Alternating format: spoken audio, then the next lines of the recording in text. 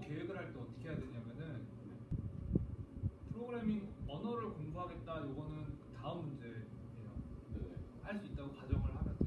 도움 받을 것도 굉장히 많고 거- 그거는 일단 제껴 두고 계획을 짜는 게 좀 중요한 것 같아요. 네.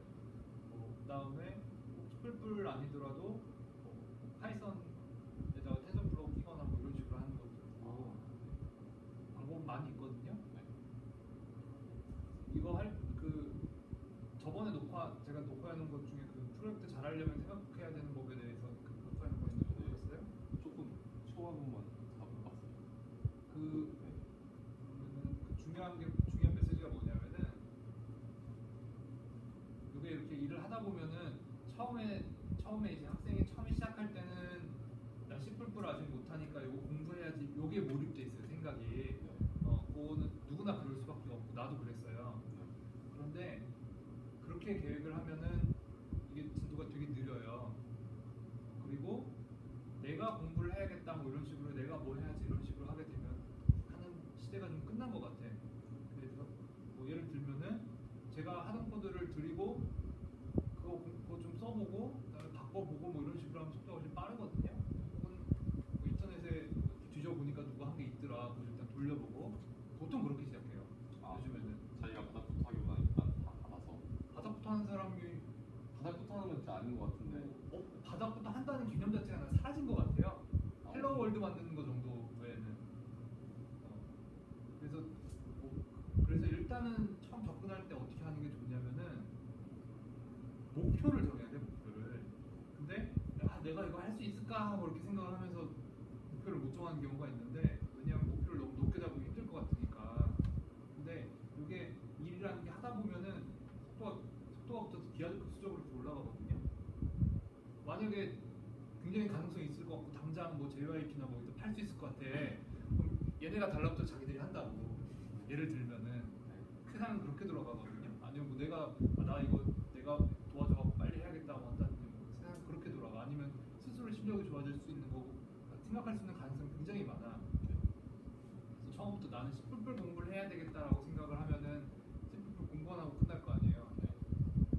그래서 제가 추천하는 방식은 그냥 나는 무조건 결과적으로 한두 달 하다 보면 프로그래밍은 어느 정도 할 거라고 가정을 하고 목표를 뭘 잡을 거냐라고 생각하면 이거 완전히 달라져요. 뚜렷하게 뭘 만들지부터 먼저 그게 그게 중요해요. 그, 그 굉장히 중요해요. 반, 그러니까 목표를 크게 잡는 건 좋은데 막연하게 잡으면 안 돼. 그 과정이 저는 프로그래밍 능력 키우는 능력보다 더 중요하다고. 프로그래밍 능력은 내가 뭐 어떻게 어떻게 하다 보면 늘고 주변에 도와줄 수 있는 사람 많잖아 사실. 네. 동기부여만 되면. 네. 어, 그렇기 때문에 저는 그게 더 중요하다고 봐요.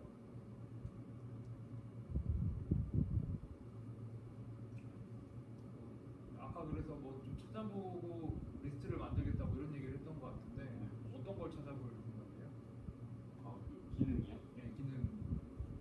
기능 같은 경우는 일단 뭐 제가 그 제가 예전에 여기서 저 친구 중에 실용음악과 다니는 거 한두 명 있어가지고 뭐 예를 들어서 걔는 거의 Pro Tools이나 Cubase 이런 거로 뭐 하는 사람들이 많은 작곡하는데 이게 이제 sequence tool이라고 그걸로 이제 가상악기가 있고 거의 음악하는 사람들이 요새 그걸로 이제 비트를 만들거나 하는 프로그램인데 없었다 예전에 이제 기본 루프만 주면 이제 기본에 조금만 추가하면 이제 다 그럴듯하게 들리는 게 많다고 하더라고요. 그거 비슷한 거를 하던 거 아니면은 그거에 없는 기능 혹시 약간 자잘한 거여도 이거 있으면 좋을 것 같은 거 없냐라고 물어봐서 하나라도 그냥 자잘한 거 나오면 그거라도 한번 만들어 보고 싶어요. 그렇지. 자잘한 거. 어, 그, 뭐 굉장히 스스로 잘 알고 있고. 어, 별거 아닌 것 같은데 있으면 재밌을 것 같은 거를 만들고 싶어가지고. 작은 걸로 해가지고 하나 완성을 하면 그 다음부터 또 돼요. 그리고 기존에 되는 거더라도 기법이 뭐 deep learning으로 바뀌었다, 바꿔 해봤다, 그것도 의미가 크고 바뀌면은 그 다음에 가능성이 이렇게 달라지, 더 넓어질 수 있으니까 네. 그것도 굉장히 좋은 거고.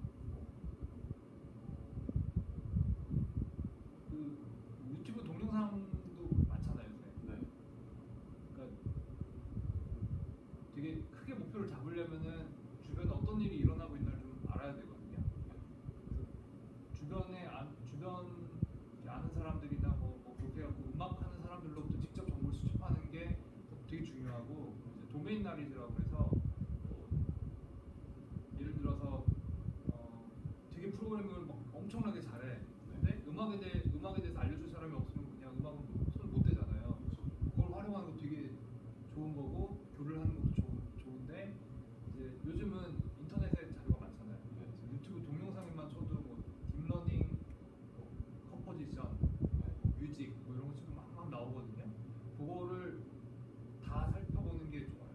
아, 기본적으로. 아, 예, 기본적으로 뭐 그 사람 심리가 아, 남들이 해놓은 게 다 있으면 내가 하는 일이 의미가 없지 않을까 뭐 이렇게 겁을 낸 경우도 있어가지고 잘 심리가 정확히 어떤지 모르겠지만 일부러 잘 안 찾는 경우도 있고 심지어 장벽 때문에 그다음에 그냥 게을러서 안 찾는 경우도 있는 것 같고. 근데 그 마인드를 좀 바꿔야 되는 게 누가 이렇게 해놓은 게 있으면은 거기까지 사람들이 인정을 해줬다는 얘기거든요 가치를 네. 거기다 내가 조금 더 얹으면 그게 내 거가 되는 거야. 타고 올라가는 거. 그래서 뭐 이해를 못 하더라도 일단 그 자료를 찾아보고 유튜브에 동영상 같은 거 되게 많고 요거는 위력적이잖아요. 네. 음악 파일 많이 돌아다니는 거고.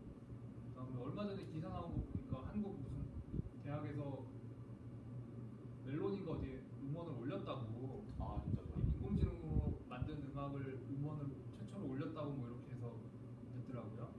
그러면은 뭐 우리가 그런 거 만들어가지고 내가 그런 걸 만들어갖고 나도 음원 올려보겠다. 뭐 음, 어떤 가치가 있겠구나 뭐 이런 것도 생각할 수 배울 수가 있는 거잖아요. 사소한 거지만 뭐 그런 걸 좀 접근을 해보면은 정보 수집이 되게 좋아요. 의외로 의외로 많다고도 할 수 있고 의외로 또 찾다 보면 또 많지 않아요. 그 다음에 조금 좋은 정보는 그거지. 논문. 논문이나 뭐 보니까 블로그 운영을 많이 하는 사람도 있고 그래서 자기가 어떤 기술 썼는지 이렇게 설명을 많이 해놔요. 아, 네. 그럼 그거를 보고서 아 이러이러한 걸 하면 되는구나 살펴보고 이해 안 가면 그냥 나한테 들고 와서 같이 봐도 되고 시간 뭐 열어둘 테니까 여러분 공지 보고서 뭐 이거 보다가 도저히 이해가 안 간다 뭐 들고 같이 보면 아무래도 좀 낫겠죠.